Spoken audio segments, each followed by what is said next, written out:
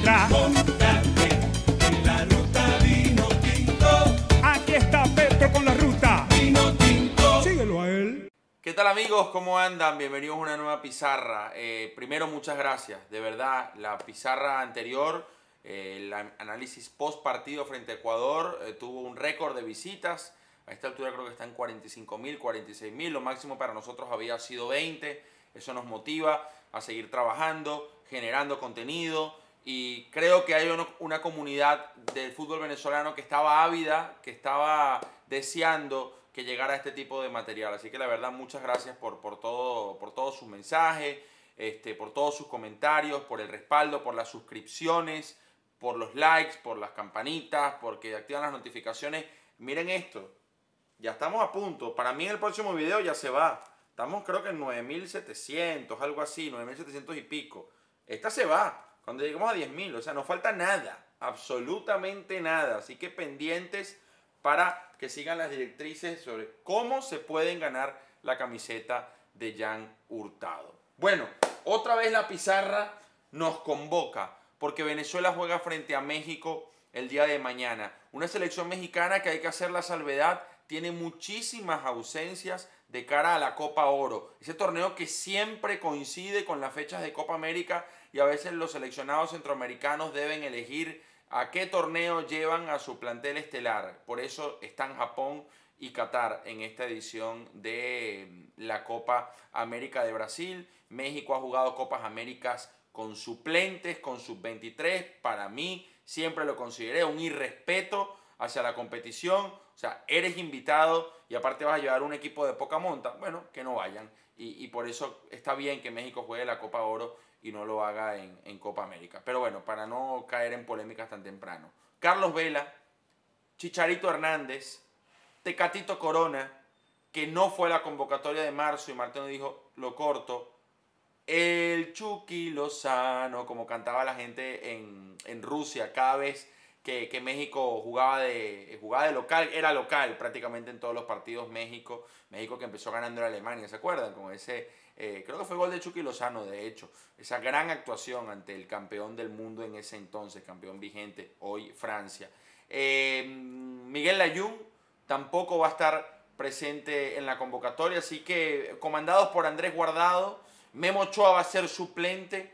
Lo cierto es que es una selección mexicana que no tiene a todos sus efectivos. Algunos alegaron cansancio, como Héctor Herrera, que no lo había nombrado en esta lista, el hombre del Porto, que hizo una gran temporada con el equipo lusitano llegando a cuartos de final de la Champions. Chicharito tiene un tema familiar. Carlos Vela declaró que prácticamente él cree que no puede aportar demasiado. Hoy en la Major League Soccer Carlitos Vela. Eh, Chucky Lozano se lesionó. En fin, eh, 6, 7 bajas significativas de peso sensibles para México. Entonces creo que es una buena posibilidad para que Venezuela por primera vez pueda ganarle. Siempre han empatado o ha ganado México. Yo recuerdo la Copa América del 95, eh, donde Venezuela anotó por intermedio un gol en contra. Obviamente el golazo de Sema Velázquez en la última Copa América Centenario, empate a uno, último partido de la fase de grupos. El 2 a 2 con las dos perlas de videoteca de Juan Arango de tiro libre en esa peligrosa eh, ciudad, eh, como es Ciudad Juárez. 2 a 2 aquel amistoso de 2010. Nunca le hemos ganado a México.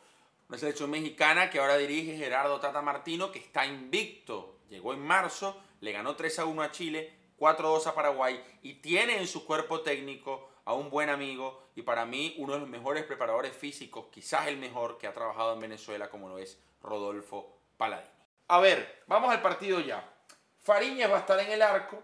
Esto no es una información, esto es lo que creo yo.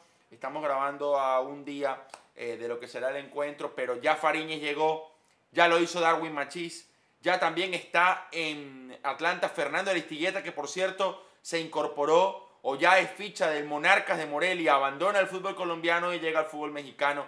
El Colorado Fernando Aristigueta, donde han pasado muchísimo, el Gato Hernández, Juan Arango, Cristian Cáceres fue jugador del Atlas de México y marcó varios goles. Eh, son los que recuerdo en el fútbol mexicano. Bueno, Giancarlo Maldonado, evidentemente, en 2008, campeón y goleador y bota de oro en América con los Potros del Atlante. El mismo Sema Velázquez. Quizás estoy eh, la Pulga Gómez, que estuvo Ricardo Avi Páez, que estuvo en las inferiores del América y también jugó con el primer equipo. Eh, Joan Orozco hoy en Puebla. Bueno, es una tierra que de a poco le, ha permitido a los venezolanos llegar y, triunfar. El Fariñez para mí va a ir en el arco. Yo creo que este es el amistoso más fuerte y donde Rafael Dudamel creo va a parar el equipo que debutará frente a Perú el próximo 15 de junio. El costado derecho, ya lo he tuiteado, no es generar polémica, no es ensañamiento, no es eh, ser detractor, es hablar de algo que llama la atención. No está Alexander González en la Copa, se lesiona Rolf Felcher, llevan a Pablo Bonilla a Atlanta. Entonces Ronald Hernández y Pablo Bonilla son las alternativas. Para mí va a jugar Ronald Hernández como lateral derecho. No veo a Pablo Bonilla todavía, por más que me parece que tiene un, futuro y un techo todavía muy, muy lejano. Eh, me preocupa eso, como pasó en la Copa América anterior, que se lesiona Rosales contra Uruguay y entra Alexander González. Parece que se lesiona Ronald Hernández entra un chico como Pablo Bonilla de 18 años de edad que viene a jugar un sudamericano y que no ha jugado con la selección nacional. Pero bueno, eh, si quieren hacemos periodismo rosa y todo es maravilloso y simplemente me limito a hablar de los nombres. Eh, Felcher lesionado, entonces Ronald Hernández para mí sería titular. Acá Jordan Osorio, que ya llegó a la concentración, para mí el mejor central que tiene el Vino Tinto. Jordan va a jugar aquí. Y acá quiero detenerme, sí señor, en el 6. ¿Por qué? Chancellor no convenció. Quizás no profundicé el tema Chancellor en la pizarra con Ecuador. Chancellor no convenció, tuvo un partido malo, eh, tuvo errores que pudieron significar goles, como es el primer tiempo donde despeja hacia atrás. Entonces yo no veo a Chancellor eh, sólido aquí, fijo. Tampoco veo a Miquel Villanueva, porque la temporada de Miquel lamentablemente no fue la mejor. Primero en el Reus, equipo que desaparece por problemas económicos, luego en el Nastic, donde desciende a la segunda división B. Cuidado, esto es un análisis personal, cuidado Luis Mago no juega aquí. En rendimiento, en minutos, en competitividad y en nivel, creo que Luis Mago es el que mejor llega. Luis Mago jugó con Palestino en Copa Libertadores y Copa Sudamericana todos los partidos de titular y en el torneo chileno es habitual en el equipo de Ivo Basay. Lo vimos contra Zula la semana pasada.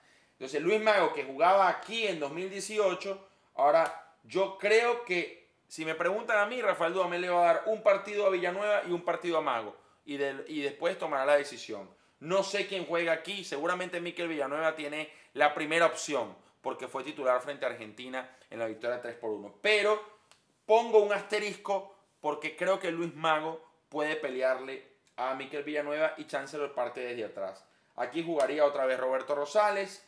La mitad de la cancha, Junior Moreno, Abrazo grande a su familia, a Junior, a sus hermanos. Eh, Carlos Horacio eh, fue una persona muy importante para el fútbol venezolano. Eh, fue técnico de la selección del Deportivo Tachi, del Atlético San Cristóbal, del Caracas Fútbol Club. Fue un tipo que amaba al país, pese no nacer en él, y que le aportó muchísimo a jugadores, a entrenadores, a periodistas, porque también estuvo bastantes años eh, comentando mundiales en Venevisión. Lo extrañamos y le mandamos un abrazo gigante a toda la familia Moreno y nos complace y nos alegra que Junior ya esté en, el equipo. Eh, Junior, eh, si, si, está disponible, yo creo que es así, va a jugaría acá, o acá Tomás Rincón y acá Ángel Herrera y acá Junior.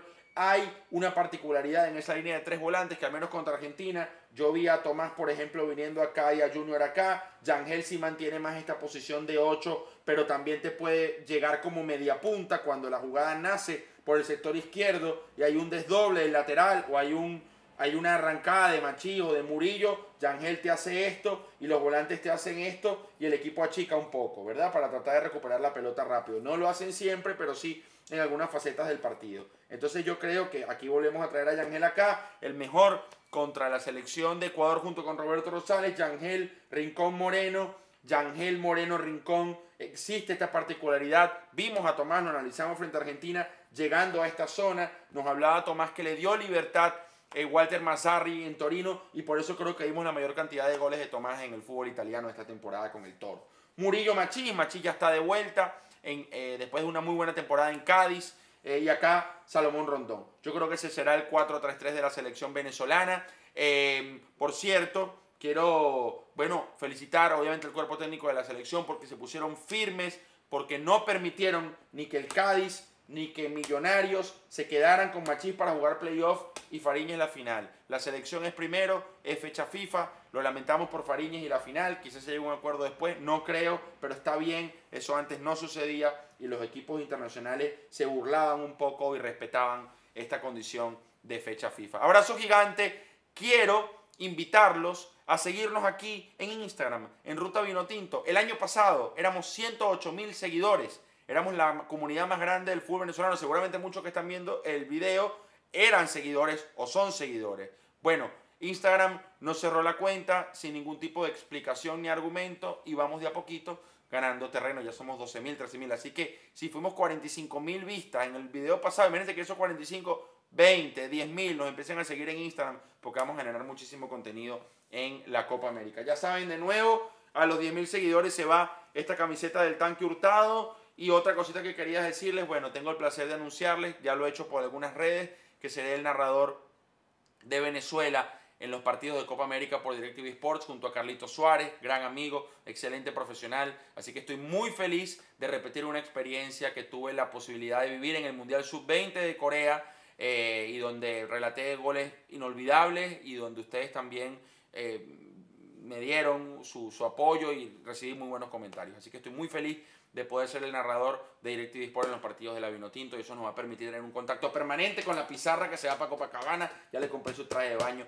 y su protector solar para que venga con nosotros. Un abrazo grande, recuerden suscribirse, la campanita y todo lo demás. Mañana, sí señor, apenas acabe el partido, usted se va a levantar el jueves con su cafecito, con el periódico y con la pizarra de Petro que va a estar bien tempranito. Chao.